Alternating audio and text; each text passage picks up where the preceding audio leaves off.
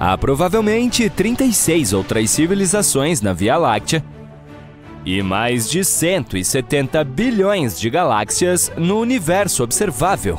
As condições para a vida estão em todo o espaço. Então, cadê todo mundo? O físico nuclear Enrico Fermi fez exatamente essa mesma pergunta durante uma pausa para o almoço com seus colegas em 1950, o que levou a um dos paradoxos mais perturbadores do universo. Embora haja uma grande probabilidade de existirem civilizações extraterrestres, ainda não encontramos nenhuma evidência clara delas. Uma possível explicação vem da hipótese do zoológico, ela sugere que sociedades extraterrestres avançadas existem e sabem exatamente quem somos e onde estamos, mas optam intencionalmente por permanecer ocultas. Elas estão apenas observando os comportamentos peculiares dos seres humanos, como se estivéssemos em algum tipo de parque cósmico de vida selvagem, mas suas intenções podem ser muito mais sombrias. Se você é fã de Jornada nas Estrelas, provavelmente se lembra da principal regra para os membros da Federação. Os oficiais da Frota Estelar não devem entrar em contato com espécies que não sejam avançadas, para não atrapalhar o desenvolvimento delas, mesmo que isso signifique arriscar a própria vida. Embora seja ficção, essa regra capta perfeitamente o que é a hipótese do zoológico. Seres de outros cantos do universo veem nosso planeta como um zoológico cósmico de via de mão única. Eles podem nos observar escovando os dentes pela manhã ou passeando com o cachorro, mas não podemos vê-los nem de longe. Nessa teoria, as formas de vida não terrestres deliberadamente mantêm distância de nós, aderindo a um acordo de política de não interferência na vasta vizinhança cósmica. É como se todos esses seres superinteligentes tivessem concordado que precisávamos ter a liberdade de moldar nosso próprio futuro e destino, seguindo nosso próprio caminho de desenvolvimento sem contaminação externa. A ideia é que essas civilizações superavançadas poderiam estar 500 milhões de anos à nossa frente, o que explicaria o fato de não termos visto nenhum sinal delas. E talvez seja melhor assim, já que os seres humanos poderiam acabar sendo destruídos ou até mesmo assimilados por esse novo poder cósmico, no estilo Independence Day. Por mais que coisas como ir a um museu de arte possam ser interessantes para nós, os extraterrestres provavelmente não ficariam muito entusiasmados ao nos ver olhando para a pintura da Mona Lisa por horas. As culturas interplanetárias talvez gostem mais de comprar ingressos para observar discretamente como estamos desenvolvendo novas tecnologias, como satélites ultramodernos. De acordo com a teoria do zoológico, eles não podem se aproximar de nós até que atinjamos determinado nível de desenvolvimento. Portanto, aprimorar nossa tecnologia e sabedoria pode ser a única maneira de mostrar a eles que somos maduros o suficiente. Há algumas razões pelas quais é difícil acreditar na hipótese do zoológico. Assim, tudo bem, os extraterrestres talvez não nos visitem ou não entrem em contato conosco porque não somos tão avançados, mas é difícil explicar por que eles continuam ignorando todas as nossas tentativas de comunicação, mesmo que os observadores de zoológicos se esforcem ao máximo para não interferir na vida e no comportamento dos animais. Aposto que eles não poderiam simplesmente ignorar um urso falando inglês alto e claro sobre seu desejo de se comunicar. Então, é basicamente por isso que os humanos continuam tentando e tentando provocar alguma reação dos habitantes de outros planetas usando sinais de rádio. Em 2017, em um vale a 13 quilômetros a sudeste da cidade norueguesa de Tromsø, uma antena de radar transmitiu uma música eletrônica, especialmente composta para possíveis ouvintes intergalácticos. O público-alvo estava em GJ273, também conhecido como Estrela de Luiten, Trata-se de uma anã vermelha de pouca massa localizada a 12 anos-luz de nosso sistema solar. Como as ondas de rádio viajam na velocidade da luz, teremos que esperar mais de duas décadas antes de procurar uma resposta. Mas o principal problema das ondas de rádio é que não sabemos onde procurar, e as civilizações podem estar até 17 mil anos-luz de distância. Além disso, não sabemos qual frequência de rádios extraterrestres usam para conversar. Aqui na Terra, usamos o espectro de rádio para enviar sinais para o universo, presumindo que o que funciona para nós pode ser um método comum para outras civilizações. Mas, na verdade, essa poderia ser considerada uma técnica um tanto antiquada para outros seres. É por isso que os projetos atuais estão procurando por tecnoassinaturas, que são sinais de atividade tecnológica de extraterrestres, como luzes de cidades, painéis solares, megaestruturas ou satélites artificiais. Outra pista em potencial é estudar as atmosferas de planetas que orbitam estrelas próximas, pois uma civilização avançada pode estar alterando sua atmosfera com gases diferentes, tornando-a detectável. Apesar de décadas de observações, ainda não há provas definitivas de que civilizações extraterrestres avançadas estejam por aí, mas isso não significa que elas não existam. Mesmo expandindo os campos de pesquisa, estamos falando de chances muito menores do que acertar o prêmio principal, com aproximadamente uma chance em 3 bilhões de encontrar uma civilização avançada a uma determinada distância da Terra. Talvez as criaturas espaciais estejam respondendo às nossas tentativas de comunicação, mas de uma forma que não conseguimos entender. O universo existe há mais de 13 bilhões de anos, enquanto os seres humanos apareceram há apenas 200 mil anos, isso representa cerca de 0,01% da idade do universo. É como se ainda estivéssemos aprendendo a falar, enquanto outros seres superinteligentes podem estar nos enviando mensagens que se perdem na tradução. Continuamos esperando que um OVNI gigante aterrisse na Terra e que ETs verdes com olhos enormes saiam dele. Mas nos esquecemos de que nossos vizinhos intergalácticos podem estar mais interessados em construir nanotecnologias para nos vigiar. Eles também podem estar tentando se comunicar por meio de neutrinos, que são partículas subatômicas com uma massa extremamente pequena que poderiam passar sem esforço pelo nosso planeta sem serem detectadas pelos nossos dispositivos tecnológicos atuais. A hipótese do zoológico tem outro problema. É muito difícil acreditar que, com todas essas civilizações supostamente espalhadas pelo universo, todas elas decidiriam não entrar em contato com os seres humanos. Para que isso acontecesse, teria de haver um grande senso de estrutura, com uma inteligência superior trabalhando como o chefe do universo, dando-lhes ordens diretas e regras claras para nos manter isolados. Mas estamos falando de bilhões de possibilidades de vida, certo? Mais civilizações significam que há mais chances de violação dessa regra de não contato. Portanto, muito provavelmente, pelo menos um planeta independente estaria tão desesperado para encontrar vida no universo quanto nós. Alguns cientistas também acreditam firmemente que, se essa vida avançada tivesse colonizado substancialmente a Terra e muitos outros planetas, nós já a conheceríamos. A hipótese do zoológico tem duas outras variações que são ainda mais assustadoras. Na hipótese do laboratório, ninguém entra em contato conosco porque a humanidade está realmente sendo submetida a experimentos e a Terra é essencialmente um laboratório científico gigante. Criaturas de outro mundo poderiam estar analisando as respostas humanas a vários desafios de sobrevivência, como tsunamis ou terremotos de grandes proporções. Nesse caso, o acordo de não contato entre todos os outros grupos espaciais faria um pouco mais de sentido. Pois é, em nome da pesquisa científica para o bem maior.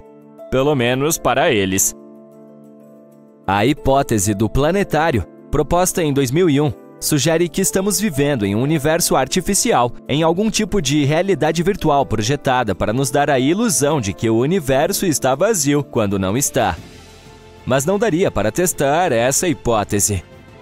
Além das teorias do zoológico, do laboratório e do planetário, há outra resposta possível para o paradoxo de Fermi. Ninguém entra em contato conosco porque os seres humanos estão completamente sozinhos no universo. Isso é conhecido como a hipótese da Terra rara e enfatiza como a Terra ocupa uma posição incrivelmente única.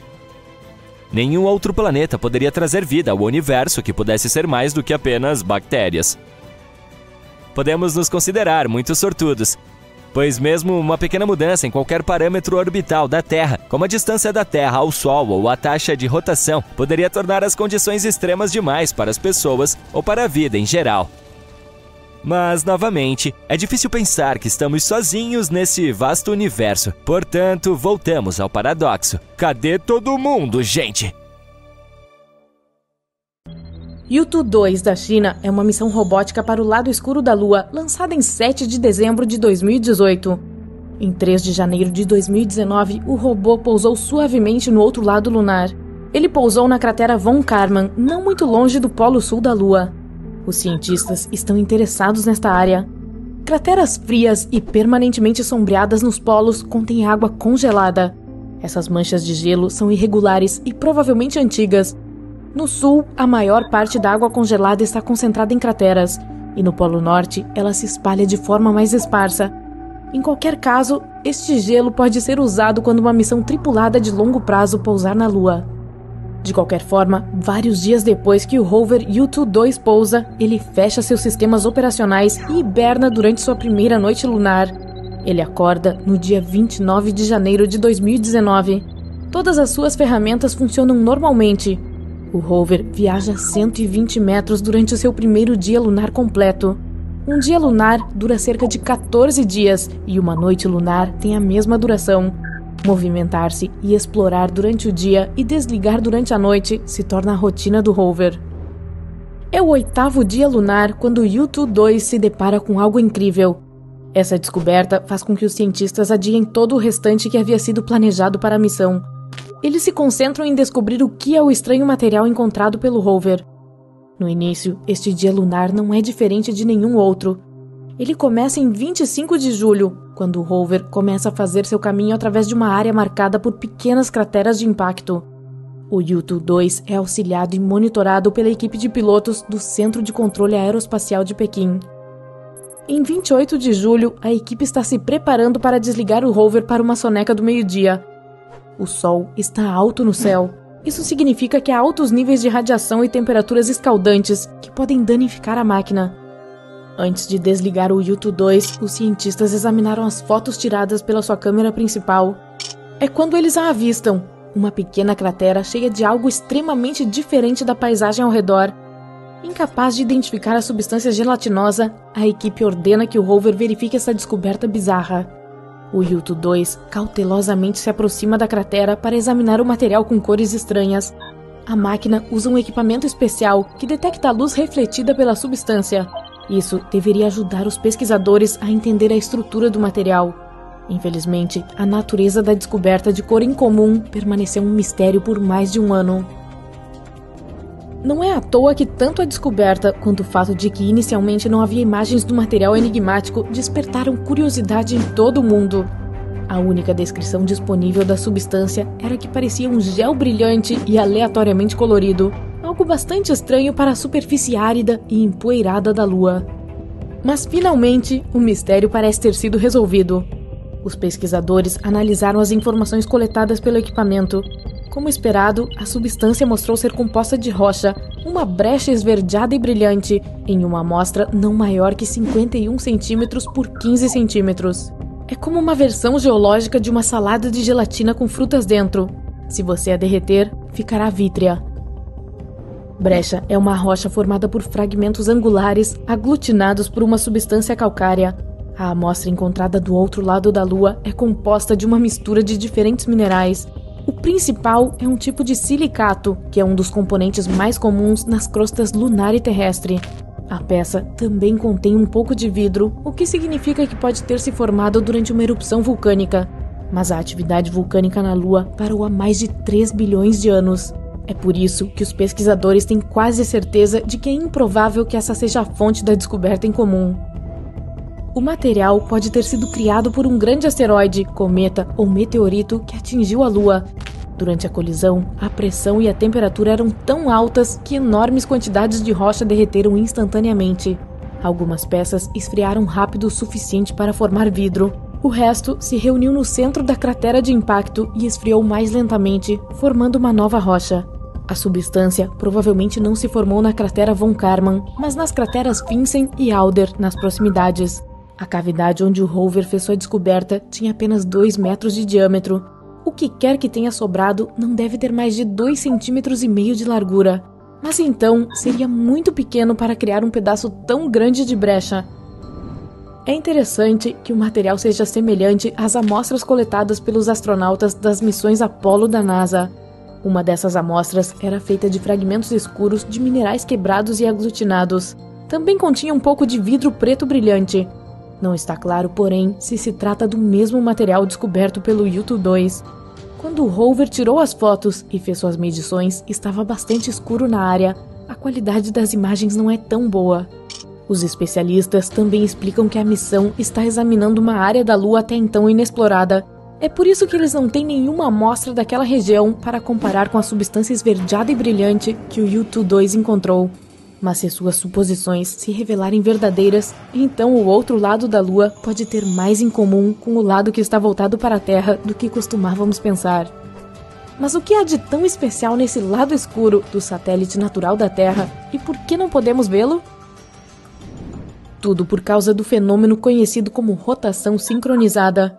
O único satélite natural da Terra gira em torno do seu eixo uma vez a cada 27 dias é a mesma quantidade de tempo necessária para dar a volta ao nosso planeta. É por isso que nós sempre vemos a mesma face. Para ser precisa, 59% da superfície da Lua é visível para as pessoas. Isso significa que é possível ter vislumbres do outro lado do satélite em algumas épocas do ano. O lado da Lua que não podemos ver é bem diferente daquele voltado para a Terra. Não possui manchas escuras visíveis à noite, essas são planícies basálticas lunares, chamadas Maria Lunarium em latim ou Mares Lunares em português. Elas foram criadas por antigas erupções vulcânicas. Isso aconteceu cerca de 3 a 4 bilhões de anos atrás. Em vez de planícies, a superfície distante da Lua tem inúmeras crateras e altas montanhas. Uma das ideias sobre essa diferença notável entre os dois lados é baseada na teoria da colisão. Ela afirma que bilhões de anos atrás, a Terra colidiu com outro planeta ou algum outro corpo espacial massivo. Depois disso, os destroços dessa colisão colidiram com algo que mais tarde formaria a nossa Lua. É por isso que as paisagens das duas faces são tão diferentes. Uma teoria mais recente sugere que a parte da Lua voltada para a Terra é mais quente por causa do calor irradiado pelo nosso planeta. Durante o período de erupções vulcânicas, era mais frio do lado oposto. É por isso que os minerais lá se tornaram sólidos mais rapidamente. Eles formaram uma camada protetora protegendo o interior da Lua contra os meteoritos, mas cada impacto deixou uma cratera impressionante. Ao mesmo tempo, uma crosta muito mais macia no lado frontal da Lua expeliu lava toda vez que um meteorito a atingiu. Depois que essa lava esfriou, ela cobriu as crateras. Embora o lado oposto seja frequentemente chamado de escuro, ambos os lados recebem quase a mesma quantidade de luz solar. O lado que vemos parece um pouco mais brilhante por causa do brilho emanado pela Terra. Existem duas razões pelas quais as pessoas estão interessadas em explorar o outro lado da Lua. Depois de deixar nosso planeta, muitas ondas de rádio são bloqueadas pelo satélite natural da Terra. Se os astrônomos pudessem construir seus rádios e telescópios ópticos no lado escuro, eles obteriam muito mais dados. Não haveria problemas com qualquer tipo de interferência. Os telescópios também seriam protegidos do brilho da luz do dia do nosso planeta. Se telescópios fossem instalados dentro de crateras, eles também estariam protegidos da radiação solar. Os astrônomos seriam capazes de obter uma visão incrivelmente clara das regiões distantes do universo. Além disso, os cientistas acreditam que há grandes quantidades de hélio 3 no lado oposto da Lua. A Terra está protegida dos ventos solares que carregam esse gás por meio de seu campo magnético, mas nosso satélite natural não tem esse escudo. É por isso que os especialistas acreditam que a Lua pode ser um lugar perfeito para a mineração de hélio 3. Esse elemento raro pode ser usado posteriormente como combustível para reatores de fusão. A Terra tem três camadas principais. Duas fazem parte do núcleo, uma densa e quente, chamada de núcleo interno, e a camada derretida do núcleo externo. Aí vem o manto, e depois há uma crosta fina, a superfície que abriga toda a vida que conhecemos. Pelo menos era isso que nós pensávamos, pois agora os cientistas descobriram uma nova e misteriosa camada localizada dentro das profundezas do núcleo interno. O núcleo interno da Terra tem aproximadamente dois terços do tamanho da Lua e é composto por níquel e ferro sólidos. Ele é super quente. A temperatura no centro do nosso planeta é a mesma da superfície do Sol, o núcleo externo pode alcançar quase 5.500 graus Celsius. É difícil explorar essa parte, pois não conseguimos ir até lá. É como olhar por uma janela muito suja, com mais de 5 mil quilômetros de metal derretido e rochas. Mas temos experimentos laboratoriais feitos em rochas aquecidas e pressurizadas, sinais de ondas sísmicas e modelos computadorizados. Quando um terremoto acontece, ele emite ondas sísmicas, essas ondas viajam pelas camadas em uma velocidade diferente, dependendo da direção para a qual vão e do material por onde passam. Nesse novo estudo, uma equipe de cientistas analisou um conjunto de dados de 100 mil terremotos profundos. Alguns deles aconteceram a mais de 100 quilômetros abaixo da superfície. Quando um terremoto acontece em um lado do nosso planeta, os cientistas rastreiam suas ondas até o outro lado. Elas mudam quando vêm para o outro lado, então os cientistas tentam entender por que tipos de materiais elas passaram. Eles encontraram uma nova camada no núcleo do nosso planeta graças aos terremotos. Normalmente, as ondas sísmicas viajam pelo Equador, mas depois desviam e partem para direções diferentes, cerca de 60 graus para o lado. Quando as ondas passam pelo núcleo interno, indo do norte ao sul, elas viajam mais rápido do que as que passam através do núcleo paralelamente ao Equador. É importante entender o núcleo, pois ele cria nosso campo magnético, que por sua vez protege o planeta de coisas como ventos solares, que são aquelas partículas carregadas que saem do Sol. Nos anos 60, descobrimos que a Terra pulsa a cada 26 segundos. É como um relógio ou um batimento cardíaco gigante. O chão está tremendo levemente, mas na maioria das vezes nem sentimos. No entanto, os pesquisadores ainda conseguem rastrear isso. Alguns acham que a plataforma continental vem como uma enorme quebra de onda abaixo dos oceanos. Por exemplo, a parte mais alta da América do Norte fica sobre uma profunda planície abissal. Uma teoria diz que as ondas atingem esse ponto, produzindo pulsações regulares. É como ter todos os tipos de bateria, você precisa bater em todas com as mãos e esbarrar acidentalmente naquele ponto que produz aquele som harmônico para sacudir nosso planeta inteiro. Se essa teoria for verdadeira, temos sorte por não haver muitos pontos como esse capazes de sacudir a Terra. Outros cientistas acreditam que a pulsação acontece porque existe um vulcão perto de um ponto crítico, a ilha de São Tomé, no Golfo do Biafra. Você está caminhando, correndo, saltando, mas quando para, sempre dá aquela sensação de que você está inerte. Na verdade, você está se mexendo mesmo quando está parado feito uma estátua, pois o nosso planeta está sempre em movimento. Dependendo de onde você estiver, pode estar girando pelo universo a mais de 1.600 km por hora. Se você estiver no Equador, se moverá mais rápido ainda. Digamos que você tem uma bola de basquete girando sobre o seu dedo. Olhe para o equador dela. Qualquer ponto dessa linha tem muito mais a percorrer em um giro do que qualquer ponto próximo do seu dedo. Isso significa que a parte do Equador está se movendo com mais rapidez. A Terra é um planeta que se recicla o tempo todo. O chão sobre o qual pisamos é reciclado. O ciclo das rochas do nosso planeta transforma rochas de um tipo em outro. Esse ciclo nunca para. As profundezas do nosso planeta estão cheias de magma. Quando ele emerge para a superfície, endurece e se transforma em rocha.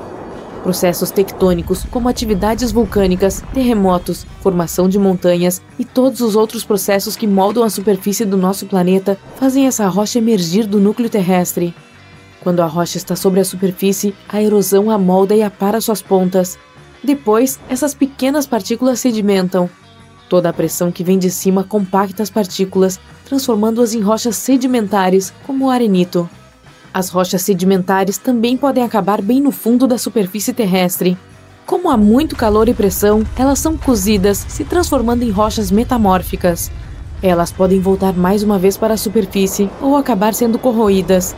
Às vezes, as placas da crosta estão se empurrando uma sob a outra, e assim as rochas acabam se transformando em magma de novo. Até agora, exploramos apenas 5% dos oceanos, então o próprio oceano e a vida abaixo do fundo do mar ainda são um mistério. Os sedimentos que estão no fundo dos nossos oceanos abrigam diferentes micro-organismos que vivem em profundezas de até 2,5 km abaixo do leito marinho. Há micróbios escondidos nas profundezas de rochas vulcânicas abaixo do fundo do mar de parte do Pacífico, sob 265 metros de sedimentos. A biosfera debaixo do fundo do mar está crescendo extremamente devagar comparada à vida sobre a superfície. A divisão celular acontece a cada 10 a mil anos, mas tem alguma coisa diferente no eixo terrestre. As mudanças climáticas, o derretimento das geleiras, principalmente em regiões como os Himalaias e o Alasca, fizeram o eixo mudar. Nosso planeta tem dois tipos de polos. Os primeiros são os polos magnéticos sul e norte. Eles afetam satélites e a navegação. O eixo sobre o qual a Terra está girando é outro tipo de polo, ele mudou um pouquinho com o tempo, mas não sabemos exatamente o porquê. Pesquisadores perceberam que há massas de água em movimento empurrando o eixo da Terra para o sentido leste. Pegue uma bacia d'água como exemplo. Se você estiver movimentando ela para trás e para frente, o peso da água se moverá para toda parte. Algo parecido está acontecendo em nível planetário.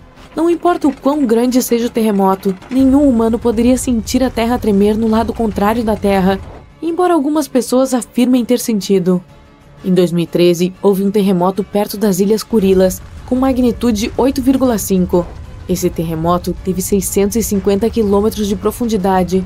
Foi tão forte que quem morava na Austrália relatou ter sentido o chão balançar.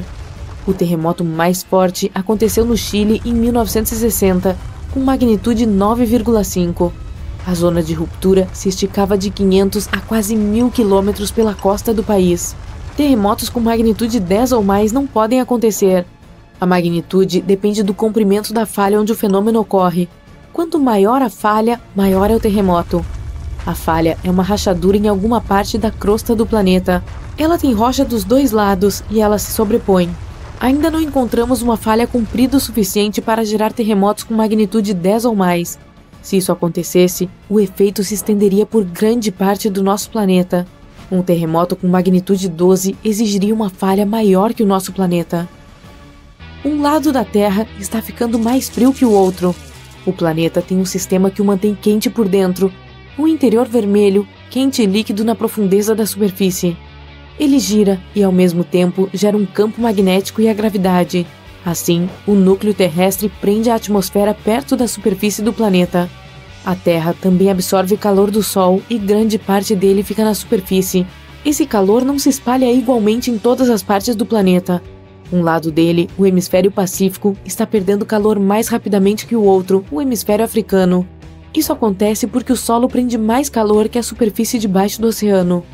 O fundo do mar é muito mais fino que a massa terrestre. Outra coisa, a temperatura causada pelo calor que vem de dentro da Terra está diminuindo por causa da enorme quantidade de água gelada acima dele.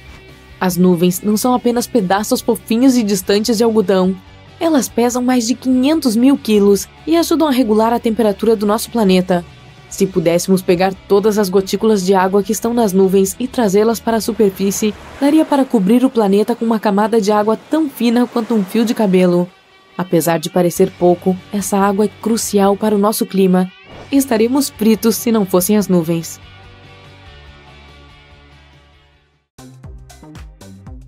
Se você pudesse entrar na máquina do tempo e viajar de volta a 1969, veria algo espetacular. O que está diante de seus olhos não é um deserto aleatório, é uma das cachoeiras mais poderosas, completamente seca. No verão e no outono de 1969, o lado americano das cataratas do Niágara ficou sem água. Isso durou seis meses. Os pesquisadores queriam estudar a face rochosa das quedas e temiam que se tornasse muito instável por causa da erosão, processo em que as forças naturais, como a água e o vento, desgastam os materiais de terra. Por exemplo, se você vir o gelo glacial ficar lamacento, isso significa que a erosão está acontecendo. Três quedas d'água que cruzam a fronteira entre o Canadá e os Estados Unidos juntas formam algo que conhecemos como as magníficas cataratas do Niágara. As canadenses, que ficam principalmente do lado do Canadá, divididas por Goat Island. As americanas no lado dos Estados Unidos. E a Véu da Noiva, que é a menor de todas e fica do lado americano, mas separada das demais por Luna Island. Os Estados Unidos e o Canadá não têm uma fronteira natural legal? Muitos não acreditavam que poderíamos realmente ir contra a natureza selvagem e impedir que quantidades tão insanas de água fluíssem. Mas conseguimos. Foi necessária uma barragem de 180 metros através do enorme rio Niágara para realmente obstruir essas cachoeiras surpreendentes. Isso significa que foi preciso desviar 270 mil litros de água a cada segundo para que o fluxo restante viajasse sobre as canadenses mais de 27 mil toneladas de rocha foram usadas para construir essa barragem, e mais de mil caminhões carregaram as pedras no quente verão de 1969. Em 12 de junho, as cataratas americanas pararam depois de um fluxo contínuo de mais de 12 mil anos. Então, as canadenses pegaram o volume extra e o absorveram para que a pesquisa pudesse ser feita. Mas os moradores ainda estavam preocupados. Eles sabiam que não era possível controlar tamanha quantidade de água, temiam que ela tomasse um rumo diferente e causasse uma inundação catastrófica. Tinham receio também de que os turistas não fossem mais se as equipes não conseguissem fazer a cachoeira voltar a fluir como antes. Mas eles continuaram chegando, mesmo naquele verão. E tiveram uma chance única de ver algo que ninguém jamais havia visto antes ou depois.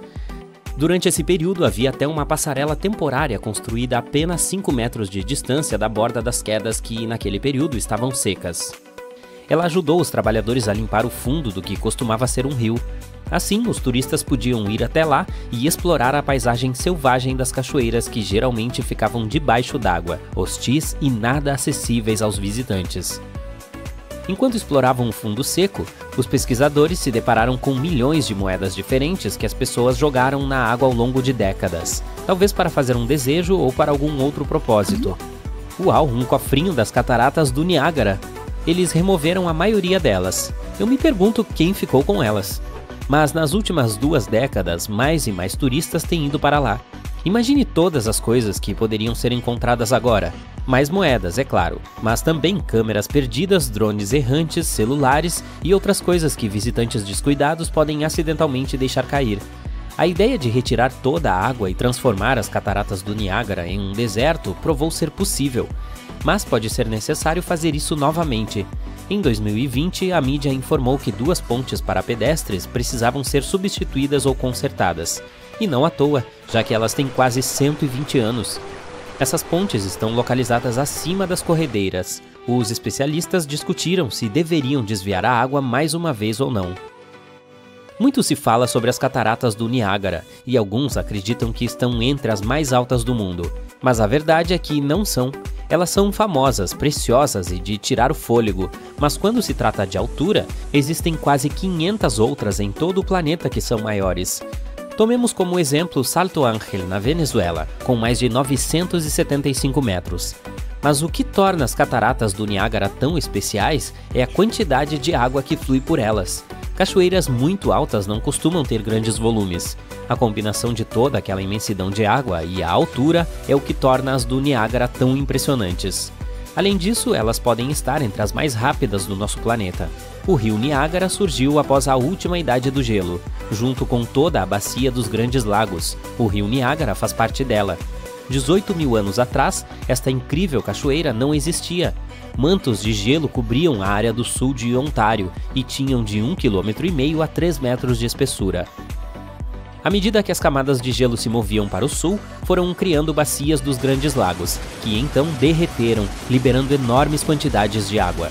Geralmente a que bebemos é fóssil. Apenas 1% se renova ao longo do ano, sendo os 99% restantes provenientes de mantos de gelo.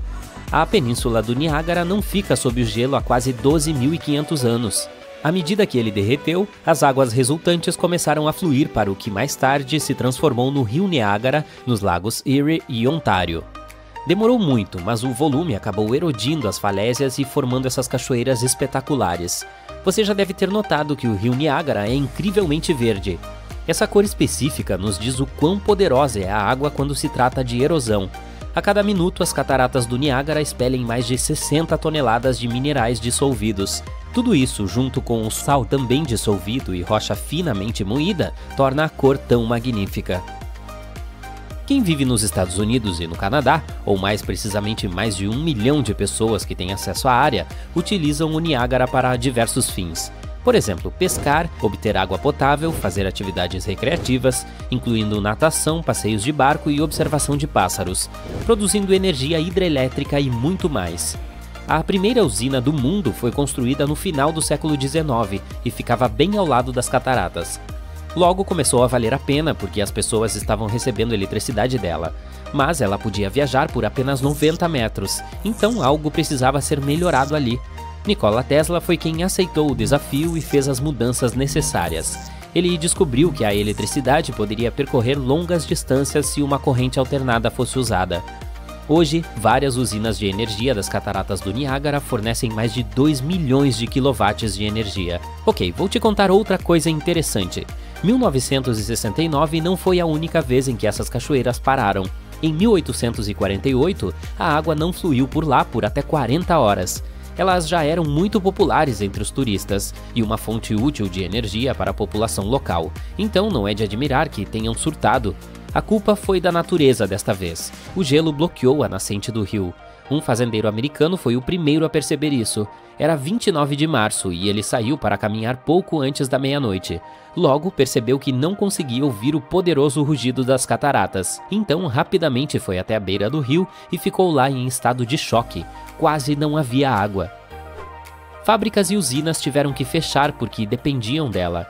Tartarugas estavam apenas vagando, peixes não sobreviveram. Algumas pessoas passeavam pelo fundo do rio, levando pequenas coisas que encontravam de recordação. Mas dois dias depois, em 31 de março, ouviu-se um estrondo distante vindo dali. Ele foi ficando mais próximo e mais alto até que uma parede de água apareceu diante dos olhos do público. Assim, uma das maiores atrações do mundo, visitada por milhões de turistas todos os anos, voltou a funcionar, magnífica e no final invencível, como deveria ser. O estranho sobre o Fomalhaut B não é o seu nome, mas o fato de que não existe. Ele foi fotografado pela primeira vez em 2008 e foi uma sensação. Os cientistas acreditavam que se tratava de um exoplaneta gigante, mas descobriram que ele tinha baixa massa e hoje em dia está se despedaçando, virando poeira. Atua como uma enorme nuvem de poeira. O Gliese 1214b é extraordinário, com sua atmosfera fumegante.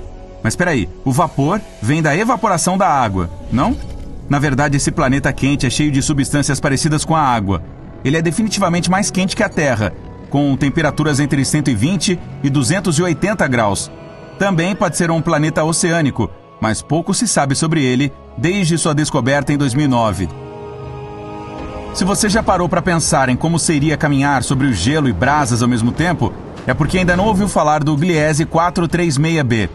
Por ser extremamente próximo do Sol, esse exoplaneta do tamanho de Netuno possui temperaturas mais quentes que um forno ardente. Mesmo assim, é coberto por gelo, que queima sem parar. Esse gelo é muito mais denso por causa da enorme gravidade do planeta e por isso permanece sólido mesmo sob condições extremas, sem derreter. Mas o Gliese parece ser um lugar legal, de clima ameno, se comparado ao escaldante Corote 7b. A temperatura média por lá é de mais de 2 mil graus. Combinada com a superfície rochosa, esse planeta apresenta uma paisagem de submundo. As pedras do chão borbulham e fervem, evaporando na atmosfera, onde resfriam e voltam para o chão em forma de chuva de enxofre.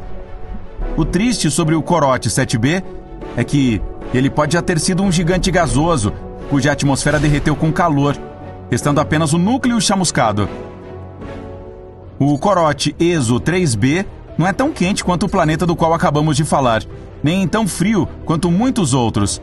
É um gigante gasoso do tamanho de Júpiter, porém 20 vezes mais denso, isso faz a gravidade desse exoplaneta pesar sobre tudo que está na superfície 50 vezes mais do que aqui na Terra. Só de pisar nele, você morreria, pois seria imediatamente amassado pela densidade de sua atmosfera. O TRES-2b é um planeta onde a noite nunca acaba. E não são noites normais de céu estrelado. Lá é escuro como um breu e muito, muito quente, o TRES-2b é um gigante gasoso quase uma vez e meia maior que Júpiter, e sua superfície absorve a luz melhor do que o carvão. Ele também pode ter um brilho vermelho escuro por causa de seu ar quente, que mais parece lava. Pode parecer que Saturno não tem um ambiente favorável aos terráqueos, mas não é verdade. Algumas camadas dessa esfera gasosa gigante têm temperaturas ótimas. Se mergulhar em Saturno, você chegará a uma camada com moléculas líquidas com zero grau de temperatura que parecem com a Terra.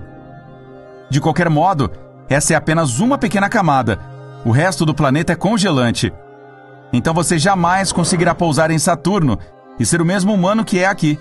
Mas dá para virar uma bola de neve lá, ou pelo menos um cristal de gelo. Já em Júpiter, você já deve ter imaginado que não há terra firme. Esse planeta é feito de hidrogênio e hélio, então é outra esfera gasosa sobre a qual não dá para andar. Mas é um pouquinho diferente de Saturno. Você não mergulharia em Júpiter, mas flutuaria. Ele é como uma nuvem gigante. E se conseguisse pousar nele, seria como caminhar sobre um espesso nevoeiro. As temperaturas oscilam muito por lá. É congelante na superfície. E ao contrário de Saturno, quanto mais fundo você for, mais quente essa esfera de gás se tornará. O oxigênio geralmente é visto como um elemento que pode trazer vida a um planeta, mas não é o caso de Osíris. Os cientistas ficaram chocados ao encontrar oxigênio nele, ou melhor, ao redor dele, pois ele está oito vezes mais perto de sua estrela do que Mercúrio está do Sol.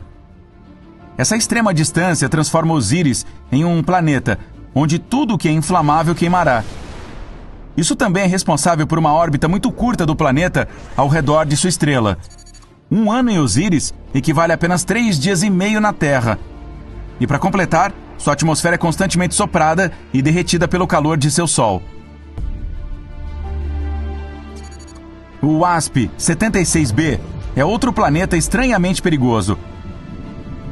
Lá é tão quente, mais de 2.370 graus, que o ferro é evaporado. Então chove esse elemento. Ele é outro gigante gasoso, igual a Júpiter. Sua extrema proximidade do Sol o divide em dois. Metade tem um dia que nunca termina, enquanto a outra tem uma noite eterna.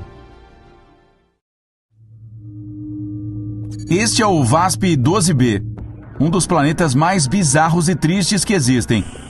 A enorme gravidade de sua estrela, combinada com a estrutura gasosa do planeta, faz com que seu Sol o devore. O VASP 12b já assumiu o formato de ovo, se esticando em direção ao seu Sol impiedoso, sem poder fazer nada para mudar essa situação. Daqui a 10 milhões de anos, ele inevitavelmente sucumbirá ao apetite voraz da estrela.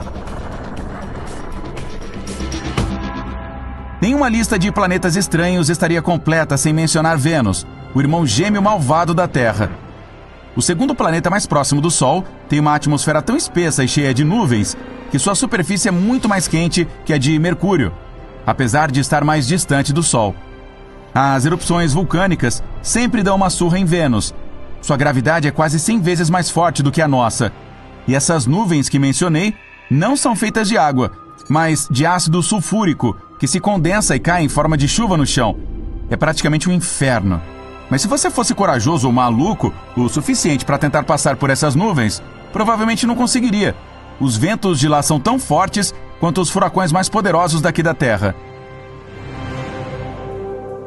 Outro planeta congelante é este aqui, cujo nome não me atrevo a pronunciar. Embora sua estrela mãe não esteja muito distante, é uma anã vermelha pequena e legal cuja luz e calor mal alcançam o planeta. As temperaturas de lá caem a ponto de marcar menos 223 graus, o que é levemente mais quente que o zero absoluto. Então, esse exoplaneta é escuro, sombrio e coberto por gelo eterno. Mesmo assim, se ele tiver um núcleo rochoso, pode gerar um pouco de calor. Então é possível que bem lá no fundo, abaixo da superfície congelada, possamos construir um bom hotel de spa termal para viajantes do espaço. Já este planeta aqui é o único exoplaneta na órbita de sua estrela, e à primeira vista parece ser muito bonitão. Redemoinhos azuis e brancos formam maravilhosos desenhos na superfície. Mas essas cores agradáveis vêm de partículas rígidas de silicato que ficam em sua atmosfera. Então, isso significa que chove vidro por lá. Mas o pior são os ventos, que alcançam a velocidade de 8.700 km por hora, ou quase Mach 7. Para se ter uma ideia, a maior velocidade de vento na Terra registrada até hoje foi de 408 km por hora, mais de 20 vezes menos. Portanto, o vidro que cai do céu viaja horizontalmente em velocidades hipersônicas, estraçalhando tudo que está em seu caminho. Aqui está outro nome que ficará só na tela. Obrigado. Esse planeta magnético, vamos chamá-lo só de Sync, tem provavelmente as melhores auroras do universo, colocando nossa aurora boreal no chinelo. O Dimidium, que fica a aproximadamente 50 anos-luz de distância do nosso sistema solar, é um planeta hostil para qualquer ser vivo. Ele é preso a seu Sol, o que significa que um de seus lados está sempre virado para a estrela, enquanto o outro sempre fica escuro. O lado quente tem mais de 980 graus e é constantemente soprado por ventos que alcançam 965 km por hora. Apesar do Dimidium ser um gigante gasoso, ele tem uma enorme quantidade de ferro que derrete e evapora na atmosfera, criando nuvens. E quando elas resfriam, caem na superfície em forma de uma chuva infernal de elemento. No sistema estelar 55 Cancri, há cinco planetas, dos quais quatro são gigantes gasosos, parecidos com Júpiter e Saturno. Mas o quinto, ou melhor, o primeiro, porque é o que fica mais próximo da estrela, é diferente. Na verdade, é horrível. O 55 Cancre fica tão perto de seu Sol que metade de sua superfície é composta literalmente por um mar de lava derretida. A outra metade é uma eterna escuridão, pois nunca vê o Sol. O planeta sempre fica com um lado virado para sua estrela. E entre os lados escaldante e sombrio tem a zona de crepúsculo, uma faixa estreita e sombria feita de nada. O sistema cujo nome também não me atrevo a dizer tem três exoplanetas, que estão sendo lentamente destruídos por sua própria estrela. Isso acontece porque ela não é comum. É um pulsar. O núcleo de uma estrela explodida que gira rapidamente. Isso cria pulsos eletromagnéticos poderosos em diversas direções, enquanto giram milhares de vezes por segundo. Consequentemente, os planetas que orbitam essa estrela morta estão sendo lentamente comidos, até desaparecerem completamente,